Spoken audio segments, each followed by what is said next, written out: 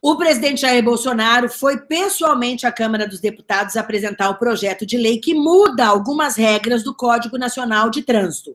Entre as mudanças estão previstos, por exemplo, o aumento do número de pontos na carteira de motorista para justificar a suspensão da carteira. Passariam de 20 pontos, como é hoje, para 40 pontos. Só com 40 pontos o motorista teria a carteira suspensa. Portanto, ele poderia cometer mais infrações até ter a carteira suspensa. Além disso, o prazo para renovação da carteira de habilitação passaria dos atuais 5 anos para 10 anos. A pessoa não precisaria de 5 em 5 anos ir lá renovar, fazer teste e tudo mais. Não.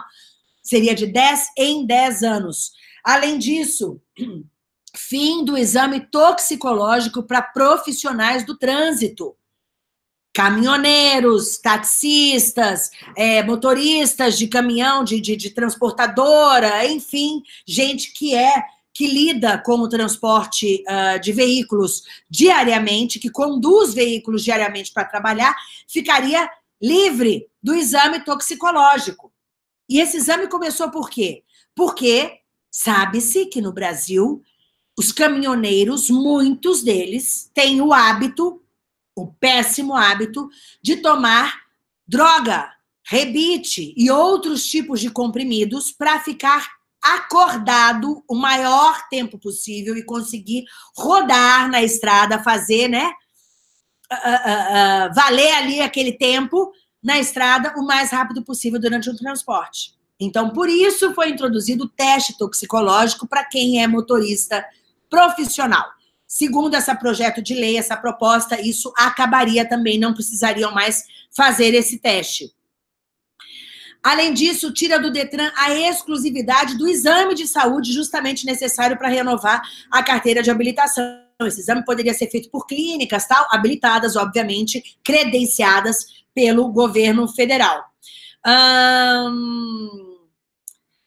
Essa regra também pode agilizar a suspensão das carteiras em caso de infrações graves ou gravíssimas.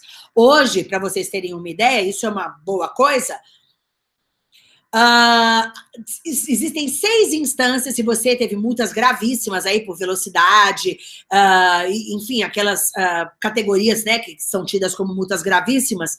Você tem seis instâncias para recorrer segundo esse projeto de lei, passariam a ser só três instâncias nessas circunstâncias de multas graves ou gravíssimas. E, além disso, ainda um dos artigos que mais está dando o que falar é a história da deixaria de ser obrigatória a carteirinha, aliás, a cadeirinha de criança, né, nos veículos, para transporte de crianças em veículos. Aliás, ela não deixaria de ser obrigatória, ela deixaria de dar multa em dinheiro o motorista ainda teria os pontos, ainda receberia os pontos da infração, que é considerada uma infração grave. Ele ainda receberia os pontos, mas ele não teria mais que pagar a multa, que hoje é de 240 e poucos reais. Se eu não estou enganada, mais de 200 reais a multa por quem transporta crianças fora da cadeirinha.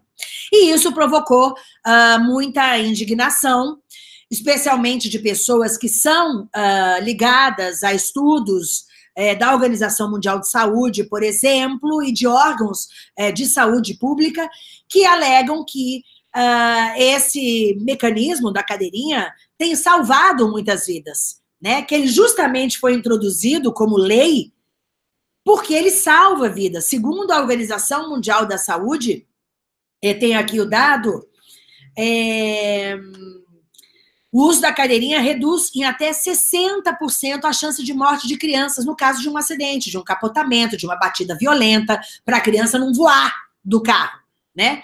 Que é o que acontecia antes. No Brasil, o número de acidentes fatais caiu 12,5% desde 2008. 12,5%. Lembrando que os acidentes fatais estão juntos aí nesse balaio, atropelamentos, colisões com motos, colisões com bicicletas, tudo isso que acontece na rua, na via expressa ou na via, na, na rua, qualquer que seja ela, é considerado acidente de trânsito fatal. Né? Então engloba tudo isso. Então o uso da cadeirinha fez com que diminuísse esse número em 12%. Ou seja, contribuindo para a segurança da vida das crianças. Então muita gente não entendeu por que mexer com uma coisa dessas, né? O presidente falou e eu tinha aqui, acho que eu tinha, não sei se era um vídeo ou uma, o texto, que ele fala o seguinte: só vai acabar com a multa, só vai tirar o dinheiro. Aí eu quero ver se vão continuar multando.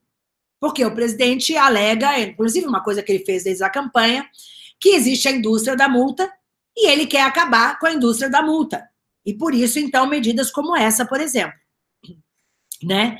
Uh, tirar a multa, tirar o dinheiro uh, de quem for flagrado com transportando crianças sem a cadeirinha.